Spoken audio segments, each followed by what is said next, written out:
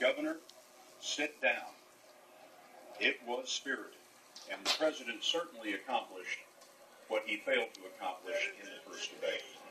As we watch the candidates speaking to the 82 uncommitted voters who were selected to ask questions He's today, petting, he's petting I'm himself. joined by That's John exactly what he's Dickerson, our doing. Who's a good News boy?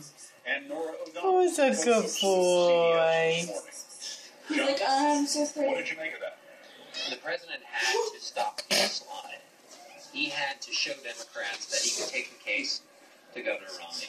And when I talked Hello, to honey, where's your tail? in Ohio, Where's your tail?